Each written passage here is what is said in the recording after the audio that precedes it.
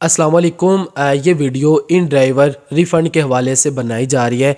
बहुत सारे ड्राइवर्स के मुझे मैसेजेस और कॉल्स आई कि भाई हमारी राइड कैंसिल हो चुकी है, इसमें हमारी गलती भी नहीं, लेकिन हमारे अकाउंट में से कमीशन काट ली गई है। इसको अब कैसे जो है ना वो रिफ़ंड करवाया जाए, कैसे कंपनी को मेल किया जाए, सब कुछ इस वीडियो में बताने की कोशिश करूँगा। आखिर ये कमीशन क्यों काटी जाती है, इसके पीछे वजह क्या है और किन सूरत में आपको ये कमीशन रिफ़ंड की जाएगी आपके वैलेट अकाउंट के अंदर ऐड की जाएगी। सब कुछ बताने की कोशिश करूँगा। उससे पहले चैनल पे नहीं हुआ तो चैनल को लाजमी से सब्सक्राइब कीजिएगा, क्योंकि ऐसा ही हेल्पफुल कंटेंट मैं इसी चैनल पर पोस्ट करता रहता हूँ। इन इन ड्राइवर से रिलेटेड मैं वीडियोस पोस्ट करता रहूँगा। जो भी न्यू अपडेट्स आएँगे, आपको इस चैनल पर वीडियोस देखने को मिलेंगी। अच्छा यहाँ पर वैलेट वाले सेक्शन के अंदर एक रिफ़ंड वाला भी ऑप्शन अवेलेबल है। और यहाँ पर कंपनी ने बताया भी हुआ है किन सूरत में आपकी कटी हुई कमीशन आपको जो है ना वो रिफ़ंड की जाएगी आपके अकाउंट के अंदर ऐड कर दी जाएगी। यहाँ पर मैं एक चीज़ बता दूँ जब आपको राइड असाइन हो जाती है जब राइड कन्फर्म हो जाती है उसे आप कंप्लीट करें ना करें आ, उस राइड की कमीशन जो है ना वो आपके अकाउंट में से काट ली जाती है। कमीशन तो आपके अकाउंट में से कट जाएगी। आखिर अब कौन सी वजूहत हैं जिनकी बेस पर आपकी कमीशन को रिफ़ंड किया जाएगा और कौन सी ऐसी वजूहत हैं जिनकी बेस पर आपकी कमीशन को रिफ़ंड नहीं किया जाएगा। पहला ये कि आपको कोई राइड आती है, आप पसेंजर की लोकेशन की तरफ़ मूव करते हैं, रस्ते में ही पसेंजर जो है ना वो अपनी राइड को कैंसिल कर देता है तो इस सूरत में जो है ना वो आपकी अमाउंट आपको रिफ़ंड कर दी जाएगी। सेकंड नंबर पे जब आप पसेंजर की लोकेशन पर पहुँचते हैं और वहाँ पर जाने के बाद आई हैव अराइव्ड पे आप क्लिक कर देते हैं आप वहाँ पर पहुँच चुके हैं, आप वहाँ पर खड़े होकर इंतज़ार कर रहे हैं कि पैसेंजर जो ना आए, आप उसको मैसेज कर रहे हैं, कॉल कर रहे हैं और वो कॉल आपकी अटेंड नहीं कर रहा, मैसेज रीड नहीं कर रहा। तो इसका मतलब क्या पैसेंजर नहीं जाना चाहता, वो राइड को कैंसिल करना चाहता है?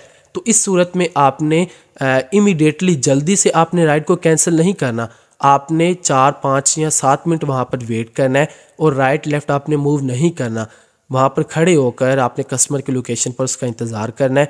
अगर कॉल अटेंड नहीं करता तो देन आपने राइड को कैंसिल पे क्लिक करने के बाद कस्टमर डिड नॉट शो पे क्लिक करके आपने राइड को कैंसिल करना है। आ, ये नहीं कि वहाँ पर आप जो है ना गलत ऑप्शन सेलेक्ट कर लें आ, कस्टमर को कंप्लेन वगैरह कर दें तो इस सूरत में आपको जो है ना वो रिफ़ंड नहीं दिया जाएगा।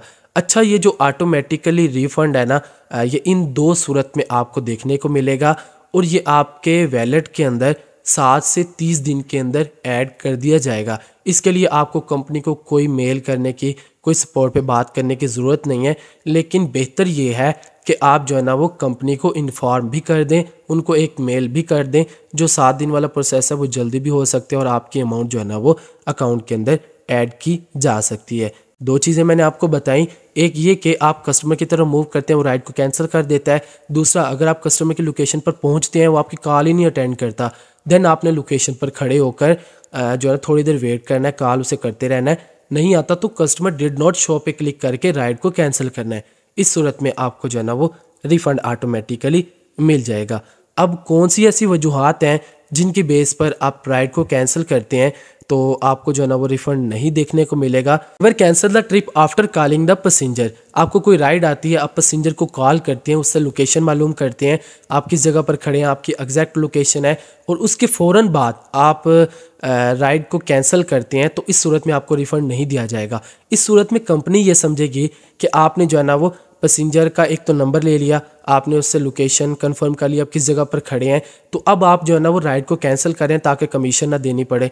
यहाँ पर बात को समझने की कोशिश करें, अगर जो है ना वो पैसेंजर राइड को कैंसिल करता है तो आपने थोड़ी देर वेट करके राइड को कैंसिल करना है कस्टमर डिड नॉट शो इसके बगैर आप अगर इमिडिएटली फ़ौरन से आप राइड को कैंसिल करेंगे तो आपको रिफ़ंड नहीं दिया जाएगा। और एक चीज़ का ध्यान रही, वहाँ पर आपने राइट लेफ़्ट मूव नहीं करना, थोड़ी देर आपने वेट करना है पैसेंजर जो है ना, वो अगर नहीं शो होता तो आपने इस तरह से कैंसिल करना है। The driver refuse to complete the trip and use the complain against the passenger अगर आपको कोई राइड कंफर्म हो जाती है, आप उसको कंप्लीट नहीं करना चाहते तो अगर आप कंप्लीट नहीं करेंगे, उसको कैंसिल करने की या कोई कस्टमर के अगेंस्ट कंप्लेन करने की कोशिश करेंगे तो फिर भी आपके अकाउंट में से कमीशन कटेगी।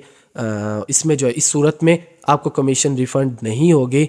अच्छा यहाँ पर ड्राइवर्स अपनी जगह पर सही हैं और कंपनी जो है ना, वो अपनी जगह पर सही है।